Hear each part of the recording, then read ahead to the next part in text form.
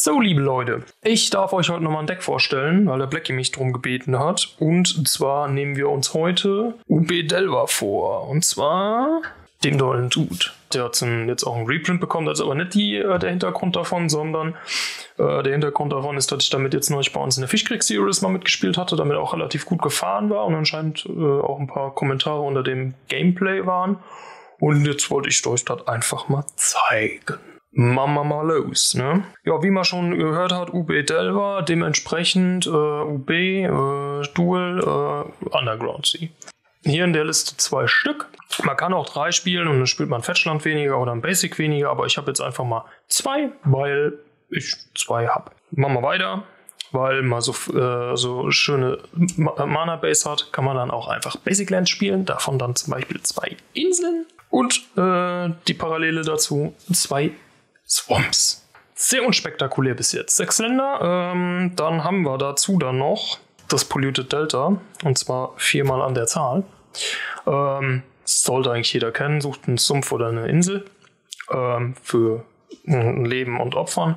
Ist halt einfach viermal drin, weil das das Fetchland ist, was die Farbe unterstützt und weil es auch die Farbe unterstützt und wir relativ viele Basics haben mit vier Stück. Ja, relativ viel halt, ne? Haben wir hier unser Prismatic Vista einmal drin. Einfach als äh, Fetchland für auf Basic Lands. Ähm, quasi unter unser fünftes Polluted Delta. Und dann haben wir noch eine Anzahl von zwei Blaufetches, in dem Fall jetzt zum Beispiel Misty Rainforest den Scullington und ein Bloodstained Mire als ein Schwarzfetch, damit wir noch zusätzlich auf den Sumpf fetchen können. Äh, abgerundet wird das Ganze viermal von Wasteland. Ja, so viel schon zur Mana-Basis. Das ging jetzt aber fix. Nach der Mana Base kommen wir dann jetzt einfach mal zu den Kreaturen. Da spielen wir viermal die namensgebende Karte, hier in Form von meinen gealterten Checkkarten, den Delver of Secrets. Einmal hier bitte in Original. Äh, ist ja 1-1. Human Wizard für ein Mana und äh, der flippt, also Bingles Upkeeps triggert der. Dann kann man eine Instant oder Sorcery zeigen, dann flippt der so transformt und ähm, dann wird der ein 3-2er Flieger. Ist halt wenigstens ein Delva-Deck, was noch vier Delva spielt. Also ich frage mich, naja.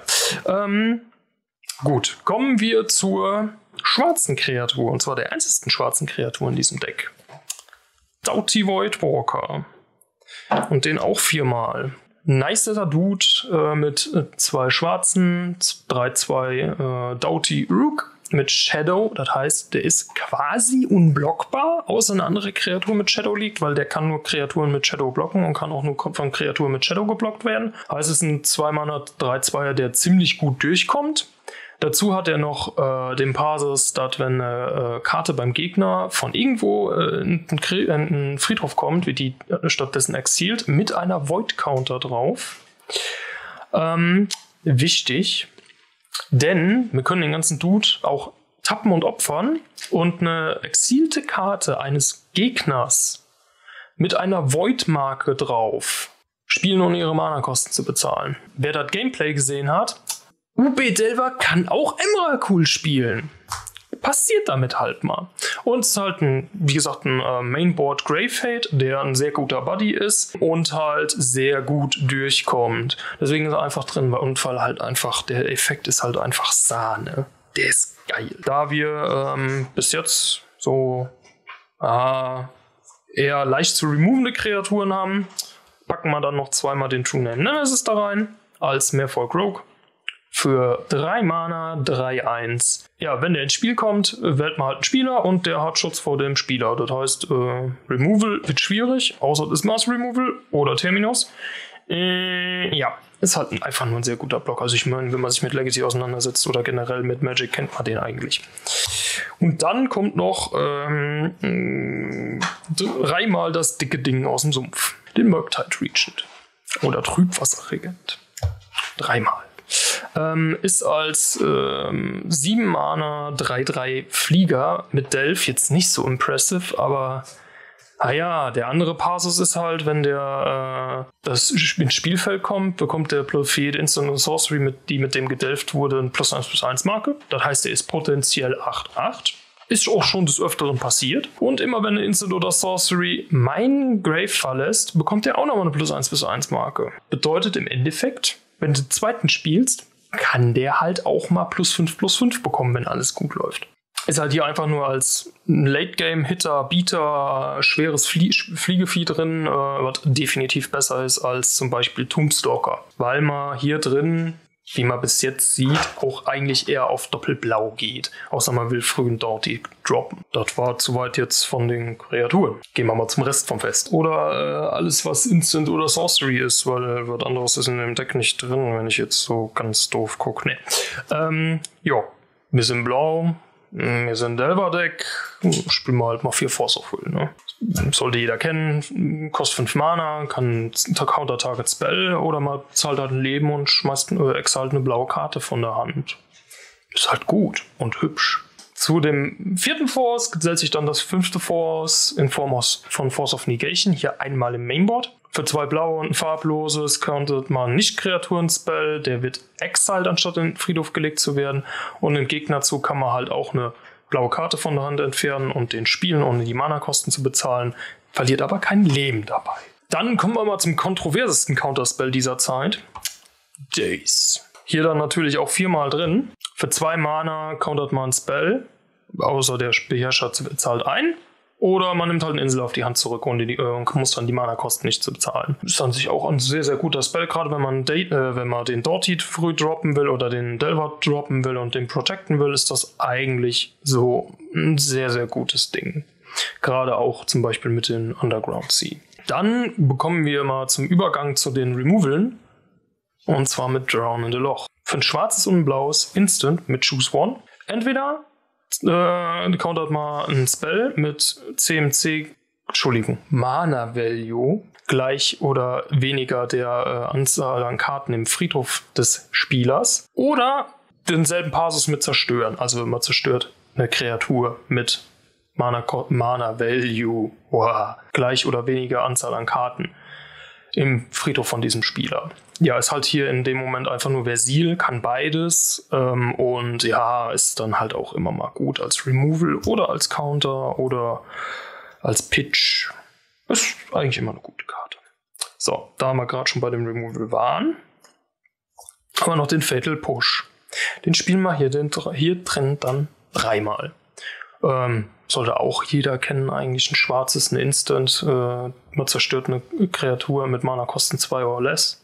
Mana Value. Oder man hat Revolt, dann kann man vier oder weniger zerstören. ist halt hier dreimal drin, einfach als Mana-Zerstörer um kleine Sachen wegzubekommen oder nervige Sachen, wie Flieger zum Beispiel. Dann, um vielleicht um mal was Größeres wegzubekommen, haben wir hier einmal ein Dismember drin. Einfach für zwei schwarze und ein farbloses oder vier Leben und ein farbloses oder zwei Leben schwarzes und ein farbloses. Äh, ich glaube, das waren alle Möglichkeiten. Bekommt eine Kreatur minus 5, minus 5 bis zum Ende zu. Es ist halt zum Beispiel auch dafür da, um gegnerische Murktide Regions wegzukriegen. Weil, ja klar, die sind manchmal auch einfach mal 8-8 aber damit schrinken die halt auf 3-3. So. Damit hätten wir das. Das war auch alles am Removal. Ein bisschen wenig, sehe ich gerade. Na, egal. Spielen wir noch Stifle. Stifle einfach als Vorauf hier drin, als sehr versile, sehr gute Karte. Ich habe sie schon im uh, Mono Blue Delver angepriesen wie warme Semmeln, weil es halt einfach eine geile Karte ist. Punkt. Ähm, für ein Blau ist ein Instant. Man countert eine aktivierte oder getriggerte Fähigkeit, die keine Mana-Fähigkeit ist. Weil Mana-Fähigkeiten gehen ja nicht auf den Stack. Heißt, Fetchländer countern, Planeswalker-Aktivierungen countern, Stoneforge-Aktivierung countern, äh, den ETB von einem von den neuen Evoke-Elementals countern, ähm, aber bitte nicht den Evoke-Trigger countern, das wäre ein bisschen schlecht. Ja, und so ein paar Sachen halt kann man damit wirklich sehr gut machen. Gerade halt der Passus mit dem Fetch-Countern ist halt, Gegner bezahlt ein äh, Leben und schmeißt ein Land weg und sucht sich kein neues Land. Ist immer wieder schön. Auch eine im Endeffekt versile Karte. Thoughtseize. Wer kennt sie nicht? Fünf Schwarzes, eine Sorcery. Der Gegner zeigt seine Hand vor, du wählst eine Nicht-Landkarte davon, der Gegner diskardet die und du verlierst zwei Leben zweimal einfach als ein bisschen Kontrollelement noch hier drin und gerade mit dem Doughty, den wir eben gesehen haben, halt schon echt geil. Also so ein Emrakul damit wegzuschmeißen, ich kann euch das Video nur empfehlen. als kleinen Discard haben wir noch eine Inquisition äh, auf Kozilek. Schwarzes Sorcery. So bis jetzt gleich. Und der Spieler zeigt auch seine Hand vor, aber du wählst halt nur eine Karte mit äh, Convert Mana Cost 3 or Less, die kein Land ist. Ja, und der Spieler discard die dann halt auch wieder. Ist halt einfach nur als anderer Discard drin, weil Forzies halt auch die zwei, äh, zwei Leben kostet, was dann in Summe, wenn du drei Forzies drin hast, schon sechs sind. Und meistens macht die Inquisition genau dasselbe. In sehr vielen Fällen zumindest. Um mal da halt auch einen einfachen, einen anderen Angle of Attack reinzukriegen auch. Und ähm, weil die Karte, wenn man mal eine Surgical frisst, halt immer noch im Deck bleibt. Ja, und dann sind wir immer noch ein blaues Deck. Das heißt, Good Old Brainstorm, viermal zu der Karte brauche ich, glaube ich, nichts zu sagen. Und dann haben wir noch Good Old Ponder. Viermal. Steht ja drauf, was sie kann. So, nachdem wir jetzt am Mainboard abgefrühstückt haben mit unseren ganzen Creaturen, Instant Sorceries, Ländern, tralala, gucken wir uns mal das Sideboard an. Sideboard, der fängt mit dem Klassiker an. Wir brauchen Graveyard Hate, wir wollen keine Leyline spielen, wir spielen schwarz, also spielen wir Surgical Extraction. Von Rixel Mana äh, nimmst, wählst du eine Karte, äh, nee, nicht Standardlandkarte beim Gegner am Friedhof, du suchst die Library, den Grave und die Hand danach und exilst die. Danach darf der auch noch shuffeln, also ist schon fair. Ähm, könnte auch zum Beispiel Extirpate sein, aber gerade in Delver-Listen oder generell in sehr relativ schnellen Listen ist die Surgical halt einfach besser. Ähm, dann fangen wir schon mal an, Zeug loszubekommen auch ein bisschen wie Sealer dann mit der Engineered Explosive. Für X mit Sunburst, also bekommt mit X äh, Marken ins Spiel, wobei X die, äh, die, die verschiedenen Mana-Farben sind, für die die gecastet wurde. Und zwei Mana opfern und jedes Non-Land-Permanent mit den Kosten equal to the number of counters werden zerstört. Ähm, ist hier drin halt einfach als Mass Removal wirklich gedacht. Es kann maximal zwei werden mit Sunburst. Ist ein bisschen schlecht. Geht aber hauptsächlich gegen Kreaturen mit null Mana-Kosten wie Token und 1 Mana-Kosten. Zumindest bei uns in der Meta. Deswegen war sie auch drin. Eine relativ neue Karte auch. Sudden Edict. Weil Lilianas Triumph ist langweilig geworden. Ähm, vom schwarzes und ein äh, farbloses ein Instant mit Split Second. Heißt, all, alles außer ein Trigger auf den Stack setzen ist nicht drin. Und man darf eine Kreatur opfern. Bringt zum Beispiel gegen Marit Lage den Vorteil, der Gegner kann sich keine Drive fetchen oder man kann darauf besser reagieren, dass er zum Beispiel was eine Kreatur noch reinflashen will. Und manchmal halt auch gegen Show and Tell oder so, die nur eine fette Kreatur spielen äh, ja, einfach ein super Ding und der kann halt auch nicht gecountert werden. Außer eine Counterbalance liegt und die deckt eine 2 auf, aber die meisten Decks, gegen die das relevant ist, machen das einfach nicht. Kreaturen loswerden, mh, hm, kommt man an dem guten Dude auch nicht mehr vorbei. Plague Engineer. Äh, sollte eigentlich jeder kennen. 3 Mana, 2-2er Carrier mit Death Touch.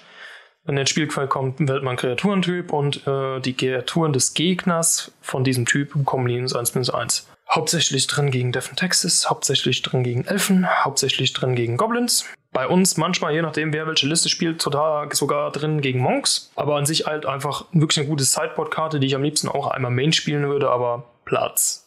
Dafür müsste Murktide gehen. Theoretisch. Das könnte man mal probieren. Haben wir den zweimal. Dann fangen wir mal mit weiterer Destruction an. Und Counter Magic. Einmal Hydroblast weil wir spielen blau. Bei uns ist eine relativ rote Meta, da kann man die gut benutzen. Für ein blaues, ein Instant, der ein Permanent zerstört, wenn es blau ist, oder ein Spell countert, wenn er blau ist. Dieser Wenn-Pasus ist manchmal gut, manchmal schlecht. Der kann halt mit Misdirection umgelenkt werden. Den kann man aber dann halt auch einfach mal so in Blaue reinspielen. das Blaue. Und ähm, ja, ist halt einfach nur als Removal und als Counterspell gedacht ähm, gegen Pyroblast zum Beispiel, also das rote Pendant dazu. Oder halt wirklich gegen Kreaturen, weil bei uns ist Burn eine Seuche. Ja, weil Burn eine Seuche ist, spielt man halt einfach noch die ältere Version davon, den Blue Elemental Blast. Der countert halt einen roten Spell oder zerstört einen roten Spell für ein blaues als Instant. Der hat halt diesen Maypasus nicht drin, das hat auch wieder Vor- und Nachteile, aber der Split ist halt zum Beispiel einfach drin, damit man den mit Surgical picken kann als Gegner und äh, alles rausräumt, was in die Richtung geht als Removal oder Counter. Wir hatten schon einmal dreimal angezeigt. Wir haben ja einen Force of Negation im Sideboard. Also insgesamt sind zwei im Deck, wenn man boarden will. Könnte theoretisch auch ein Pflasterstorm sein zum Beispiel, aber hier ist halt einfach das Force of Negation jetzt. Hatte ich eben schon mal zu gesagt, brauche ich eigentlich nicht viel zu sagen. Ist halt einfach nur ein Spell, der reinkommt, zum Beispiel gegen Combo, weil halt nicht Creature Spell. Ähm, ja, ist halt die Frage, was man dann oder was man für eine Meta findet. Ähm, dann haben wir noch unsere wunderschöne Narset. Partner of Wales. Planeswalker für zwei Blau und ein farbloses mit 5 Loyalty. Der Gegner kann keine zusätzlichen Karten mehr ziehen. Also eine Karte und dann ist Schluss. Und für minus 2 gucken wir uns die obersten 4 an und nehmen eine Nicht-Creature, Nicht-Landkarte auf die Hand. Und äh, den Rest legen wir randomized drunter. Ist eigentlich ein super Tier. Und die ist auch noch wunderschön. Nicht nur als Karte, sondern auch als Matte. Also, ist echt hübsch, die Frau. So. Da bei uns eine, manchmal eine Menge Artefakt rumläuft, oder Death and Texas, was im Endeffekt auch Artefakt ist, äh, spielen wir einfach mal zwei Nullrod. Äh, ja, Nullrod, Artefakt für zwei farblose. Player können äh, die aktivierbaren Effekte von Artefakten nicht aktivieren. Äh, ja, setzt halt ähm, Equipment-Effekte aus, setzt Dice Factory aus, setzt verschiedenste Sachen aus, Lotus Petal zum Beispiel, ähm, Artefaktländer äh, von ähm, Affinity zum Beispiel oder die Moxe von Affinity und ist halt da einfach echt ein gutes Tier. Und da ist halt auch wieder der Meta-Entscheid, bei uns kommen einfach zwei rein. Und äh, weil man Artefakte nicht mag, nimmt man auch einfach einen Energy Flux rein ist für ein blaues und zwei farblose Enchantment und Artefakte bekommen zu Beginn des Upkeeps muss man das opfern, außer man bezahlt zwei. Was halt gegen Decks, die viele Artefakte spielen, die entweder auslockt, weil sie Artefakte nicht verlieren wollen und die deswegen die Mana-Kosten bezahlen, äh, die, die Kosten bezahlen, oder äh, ja, die opfern halt alles weg, weil sie es eh nicht können. Das ist halt auch nicht so schlecht. Aber einfach als Artefakt Hate, als Equipment Hate, das sind ja auch Artefakte. Und ähm, ja, einfach als zusätzlicher Pasus da. So, dann brauchen wir am besten noch irgendwie was zum Bouncen, weil er auch die Schnauze hauen kann. Nehmen wir Brazen Burrow. Ähm, als Petty Theft für zwei Mana eine Instant, die nicht dann permanent ist, auf die Hand zurückbringt und dann kann man den immer noch als 3 Einser für drei Mana spielen mit Flash Flying, der aber nur Kreaturen mit Fliegen blocken kann. Ja, zum Glück fliegt er meistens nur wegen Marit Lage in der Deck. Dann kann er halt beides. Ähm, ja, ist halt einfach eine gute Karte. Ähm, gegen manche Decks kann man die halt einfach reinnehmen, hat dann noch einen zusätzlichen Blocker, weil je nachdem gegen welches Deck ist dann halt auch mal wichtig, dass man den Gegner in dem Einzug interruptet und dann auch noch direkt einen Blocker hinterherlegen kann. Ähm, ja, ist halt einfach eine gute Karte. Und wenn wir auch bei guten Karten sind, dann nehmen wir auch eine schöne Karte, dann nehmen wir einfach Caracas. Ist halt bei uns auch sehr gut, wenn ein bisschen viel äh, Talia rumläuft und äh, Showtail ist ein Ding. Und ja, macht ein weißes, das heißt theoretisch bekommen wir unsere Engineered Explosive, je nachdem wie wir boarden, sogar auf drei. Oder ähm, wir schicken eine legendäre Kreatur auf die Hand ihres Besitzers zurück. Was halt zum Beispiel gegen besagt Marit Lage hilft. Oder halt gegen Talia. Das soweit zu UB Delver ich spiele das Deck eigentlich nur, weil ich eine Liste gesehen hatte, den Doughty schon immer relativ geil fand. Oder witzig. Und jetzt finde ich ihn geil. Ähm, und ja, ist halt mal was anderes als die UR-Listen, die die ganze Zeit rumrennen. Vor allen Dingen, wenn man keinen Ragavan spielen will oder spielen kann, weil das Scheißding einfach schweineteuer ist und hoffentlich auch bald einfach ein Banning erfährt. Oder schon erfahren hat, je nachdem, wann dieses Video hier so rauskommt. Ne? Also, wenn es ein bisschen früher ist oder ein bisschen später. Ähm, ja, und ansonsten ist ein schönes Deck, lässt sich super spielen. Ähm, die Symbiose aus Discard und Counter funktioniert auch sehr gut. Äh, Gameplay dazu gibt es ja halt gegen Show and Tell. Ähm, waren witzige Runden. Generell war das Turnier damit auch sehr, sehr witzig und hat einfach Spaß gemacht, das Deck. Ja, wenn ihr noch Fragen habt, könnt ihr die gerne stellen. Blackie muss mich nur mit der Nase drauf stoßen. Ansonsten würde ich sagen, hören wir uns beim nächsten Gameplay.